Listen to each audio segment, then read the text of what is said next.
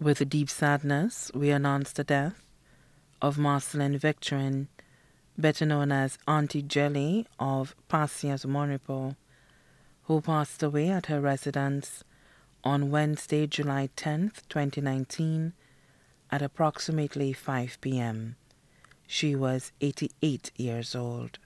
The funeral service for the late Marcelline Victorin, better known as Auntie Jelly, will be held at the St. Anne's Roman Catholic Church in Monrepo on Saturday, August 10, 2019 at 2:30 p.m.